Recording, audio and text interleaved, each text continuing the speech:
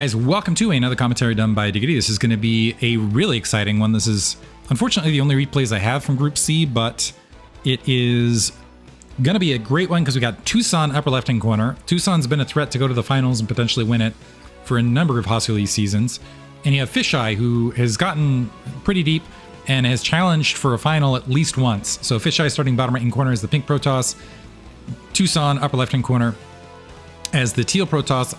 I am presuming that so Fischei, oftentimes it's just kind of a question of like what shape is Fischei in? Is Fischei practiced? Because I feel like when Fischei is practiced, it's like maybe a finals championship this season. Tousan, I think has been steadily improving, so I would not be shocked to see Tousan potentially make it all the way to the finals. I feel like Tousan do like Fischei, and who else am I missing? Uh, uh, those are the contenders that I'm thinking off the top of my head where I'm like, yeah, these are the these are the people that are that are threats. This is again on lobotomy which if you've not seen it, you've got uh, some weird variation on Heartbreak Ridge almost, where you got the small gap in the middle.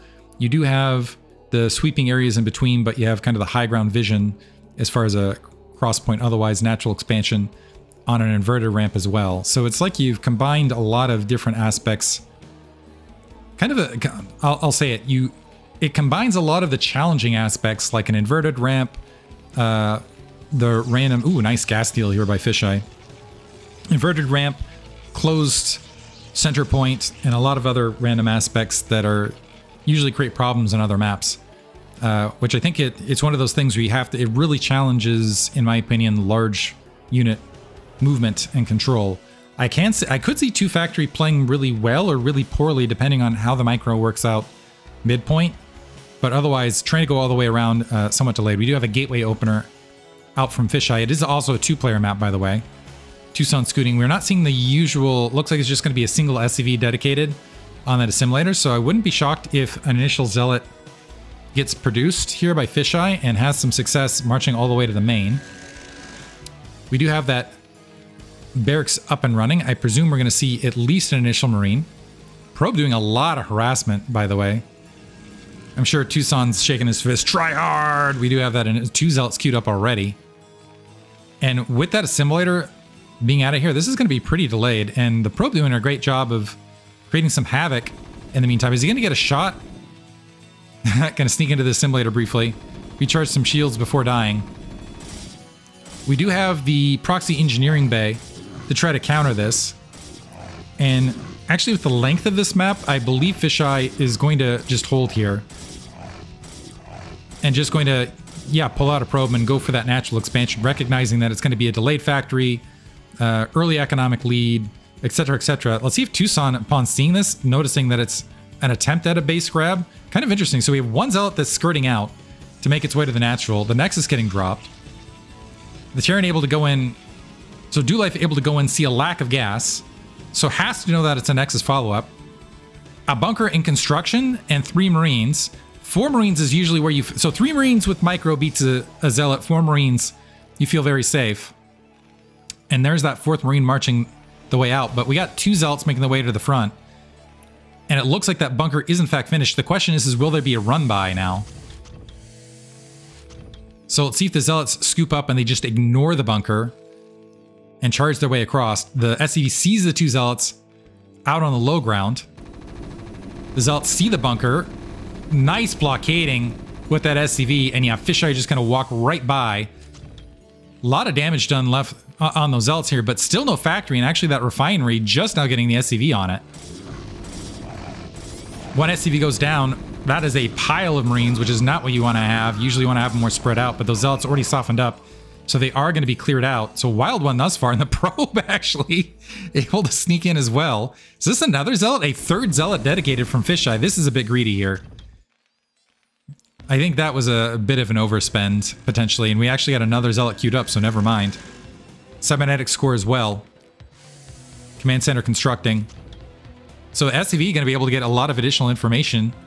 Fischei has the base up. Cybernetics Core up as well. But this is going to be, and actually the Marines now charging, so never mind that Zealot queued up was potentially wise. Is there going to be a bunker built underneath this? So SCV able to get scouting information regardless. The Marine's going to back up, especially because if the Zealots uh, made their way towards the the midpoint gap. This is an this would be a, a challenging run by in defense. But Tousan able to keep his eyes. So after all this early chaos, able to keep eyes, going to see that robotic facility follow up. And the factory just now finishing. Two factories being built behind this. I'm wondering if this is going to be double machine shop and a heavier siege tank composition to follow it up, or if we're going to see just early vultures, knowing that there's a couple zealots wandering out in the field. The Marines again marching out. This is going to be potentially disastrous. Tousan, that he's lucky that Fischei didn't pounce on that because might have been able to get an additional Marine kill and maybe gone for an end around run by and gotten into the SCV line. Uh, although I don't know how much they would have been able to to I, I, don't know how much damage it would have been able to get done as far as a follow-up. Second gas dropped very rapidly. Nutty one thus far. Very chaotic. Second gateway finally dropped. One problem for Fischei at this stage is he's been running off one gate for gateway for quite a period of time. He's got two Zalts very exposed if a single Vulture gets out. But again, it looks like it is going to be double machine shop siege tank composition. If you get sufficient siege tanks, oftentimes that can help nullify uh, early game shuttle reaver antics. And it looks like we do have a robotic support bay being constructed. The Zealot's again testing that front line. Dragoon wants that SCV. How dare you end up in my base at some point. So it's gone. A couple defensive Dragoons here. Looks like we already have a Reaver queued up. That might halt potential pressure, but it looks like we are going to have a maybe a Vulture speed follow-up. I don't think mines were researched. So Siege Tech, Siege Tech is queued up. We already have one Siege Tank out. Is this going to turn into... So we got two Marines here in the background. So is this going to turn into a really late side push in the midst of this? Potentially yes, which would be maybe a disaster with that Reaver out because the Reaver could sufficiently stop this, but I, honestly, this could go either way. That's that's not a massive padding for Fischei. Fischei skimped on a lot of early game troops. He hasn't pushed the gap position here. And that Reaver is going to come out pretty late. So he's going to need to he's going to need that on the spot to help defend against this. But on the counter side of this, if Tousan isn't able to box out that shuttle with that Reaver and ends up losing those Marines, he could end up losing this entire attack force, at which point his natural and his main would be completely exposed and opened up. A Stargate dropped in between this. So Shuttle, so this is going to be honestly the pivotal moment of the game here. Tousan actually with a supply lead, pressing into the natural expansion, dropping some mines on the low ground, scattering his troops out, but this is the bulk of the army over here. Reavers have not been involved yet. So there's the drop. Do they get the Marines? All the Marines are scattered. We got a few Marines left. That Reaver with the follow-up should be sufficient, but interesting, we got some spider mines in between. So now that Reaver picking up, Tousan has to run back to his base to deal with potential Reaver damage, and the Observer going to float out and clear the mines in the in-between space. We do have, it looks like some missile turrets up and some desperately trying to get built on the perimeter. A wild one. I don't think these turrets are going to be up in time. The Vulture is able to spot that. I'm wondering if Tousan's going to turn around in the midst of this. So yeah, the shuttle not there. Goodbye. So the SCV's preemptively evacuating. That is some dud right there. Wow, that was a dud. So that turret gone but all the SCVs fling, uh, creating enough disruption already. So a delayed on the third, the third and fourth uh, base potentially. We have some vultures down in between. Where did the observer go? The observer really falling asleep at the wheel. We do have a turret along that back edge. There are, well, be kind of hard to shoot the edge in between. It looks like the vultures want to cut off a third, but we already have double two base carrier Fischei not kidding around here in game one. Double carrier queued up off two bases, feeling that there's maybe enough time to make that happen. And I actually love carriers on this map because holy cow. Also, have I been saying do life this entire time? I'm if I've said do life pre previous, I meant Tousan up to this stage. Uh, Marines, oh, getting some damage done on that shuttle, leaving it very, very weak. The Observer going to provide some scouting. Unfortunately, the Zealot Bomb going to be risky with those two Marines alongside. Zealot getting dropped. Reaver there, not able to get the Marines and the shuttle gone with the Reaver. Tousan easily going to be able to grab a third, but maybe the magic number of carriers will be out before he's able to do anything about it. So, and this is a pretty brutal. Hold on, let, we're to back up and kind of survey the map. You can see all these ridge lines and all these areas of escape for carriers. So two-base carrier actually not that crazy on this map, in my opinion. Looks like there's already movement to maybe grab a third from Fischei. Fischei feeling like it might be possible as Tousan grabbing that third. The Vulture's trying to stream out. I'm not sure I like the Vultures out on this map going through the center corridor. This doesn't feel like they have a lot of spread. Tousan feeling a lack of army out in the map, moving the siege tanks, a lot of siege tanks, unsieged forward. Plus one weapons just about to finish. The vultures interspersed with the dragoons. And so Fischei may be going to be forced to reveal this attack force before he is ready that these zealots do not have leg speed. And Tousan now encapsulating that army nearly at the natural. So yeah, the first two carriers going to have to sneak out. And yeah, they might be able to get a siege tank or two, but they're not going to be in large numbers. So the Goliaths so yeah, it breaks up the natural expansion contain, but it also gives forewarning to Tousan to go ahead and get the Goliath count up. It looks like maybe already anticipating it had the I might have missed a com, uh, successful comsat. But now with just the two carriers, Fischei needs to do something miraculous. Third base being built, but this is behind Tousan's third base. Turrets built in between. It looks like those mines did get cleaned up. Decent gateway count. Observer picked off at the forward position. We only have two Goliaths, but and some turrets being built to, to provide some that some of that delay time.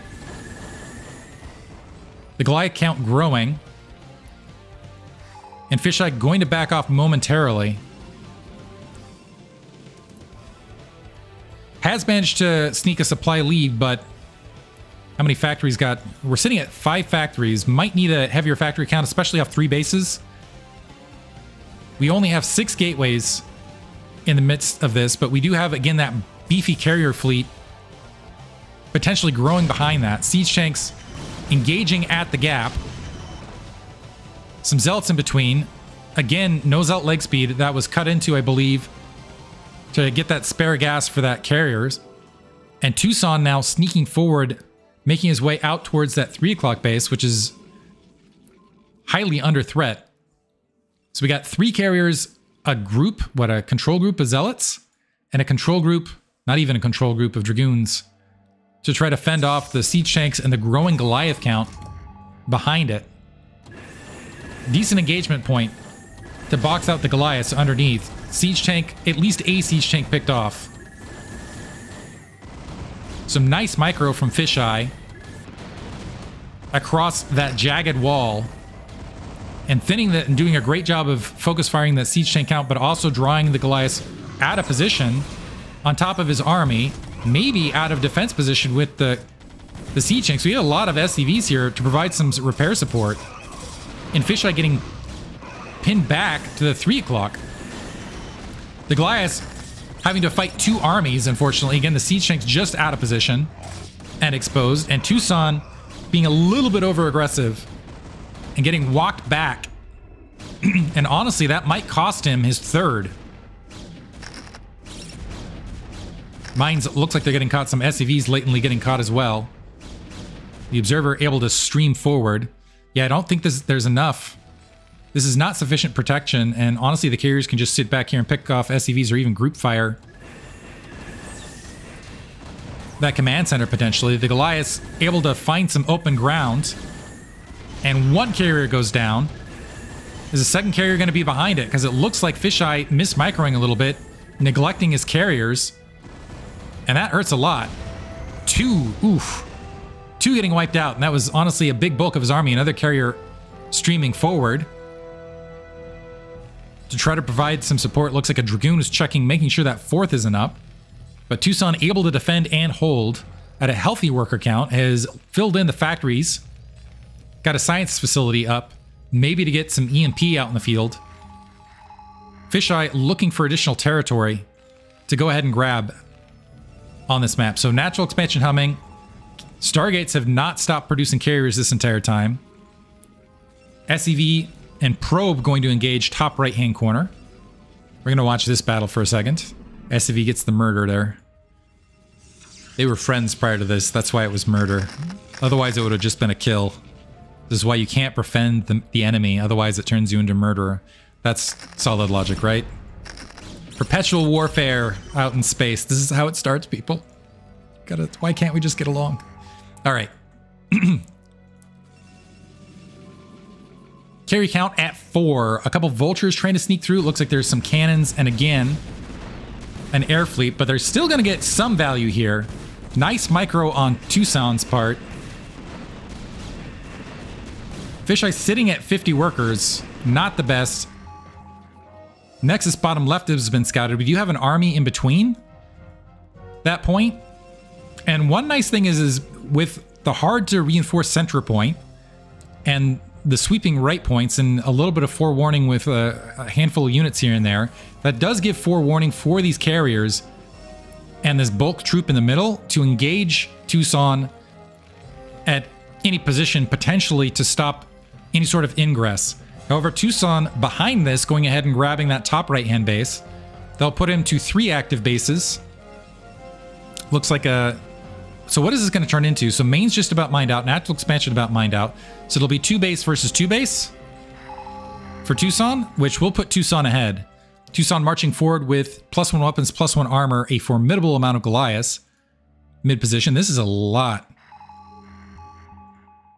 Took a lot of steel to produce this army, but Tousan's good for it. Near maxed armies both ends. The carriers are nearby with the six count, but the rest of that army going to get pushed back. Looks like Zealots do have leg speed. We'll see if they're able to sweep in. So Fischei a little bit hesitant to get out of the that jagged line positioning. What this is allowing to happen is, is it looks like the Goliaths do have sufficient... I was going to say, do they have uh, sufficient upgrades? If Goliaths have sufficient upgrades to pick off interceptors, can be huge. Never mind, they're just going to step up and take out a carrier wholesale. But being able to pick interceptors out of the air can be a big win for Terran because you start bleeding off the minerals a little uh, latently as long as you stay ahead in that upgrade war. Trying to click on one of these, see if they got... Yeah, no, no armor upgrades. So should be able to pick them up before they're able to sneak in. Especially with this amount of Goliaths. So Tousan now has a forward bulkhead. And moving the siege tanks forward, catching a couple Dragoons stranded. And the carriers now at seven, encroaching, able to pick off a siege tank or two. Fischei dropping uh, the micro a little bit. But that Goliath count is starting to thin. We're just at eight. We do have a reinforcement group immediately replacing it, however. And this is one of those situations where, yeah, that doodad really working to Fischei's favor, where the Goliaths kind of wander down across from it to try to engage the carriers. And then there's the Goliaths right there to pick off what's left. Siege tanks breaking off. It looks like they don't... They're not happy with the current terrain. Fischei making great use of it. And so having a little bit of trouble deciding where to go, it looks like they're trying to break off to the 3 o'clock location. Siege tank's getting picked off. And the Dragoons, yeah, catching all the stragglers as they're making the way around. The Goliaths, scatter shot, trying to make their way forward. I'm looking for some Zealots to march up for Fischei in between here. Another carrier getting picked off via the group fire. Looks like the Zealots now starting to march their way around, but we do have some more Goliaths making their way forward. Another problem for Terran with this is making sure you have sufficient vultures and siege tanks underneath interspersed with the Goliaths. It can be very, very challenging. But now, Fischei's army engaging Tousan in earnest and barreling all the way up headlong. So that's going to completely wreck the Goliath count. And you can see Tousan's supply count plummeting. And that's also going to expose that top right-hand expansion. Don't think these mines are of too much concern at this stage. And that's also going to expose that cliffside... I'm going to call this the, the command center with a view. It's where the wealthy, wealthy Terran build their bases, so they have that beautiful ridge side But this is, we got the proletariat marching in with Fischei here to tear that thing off the mountainside. Looks like there was another engagement here along that 9 o'clock. The army that was pocketed to the south marching and wiping out that command center before it was able to field. The Goliath's doing good job of marching forward and picking off the carriers, however. It still looks like it's insufficient because the the Dragoon count able to sneak in underneath, and the yeah, the SCV is going to have to defend themselves. The guillotines are coming out. The workers on the opposite side, yeah, there's GG. Hope you guys enjoyed it. A fun one between these two and the opener. I'm expecting fun one as far as the following matches. Appreciate your viewership. Thank you for listening.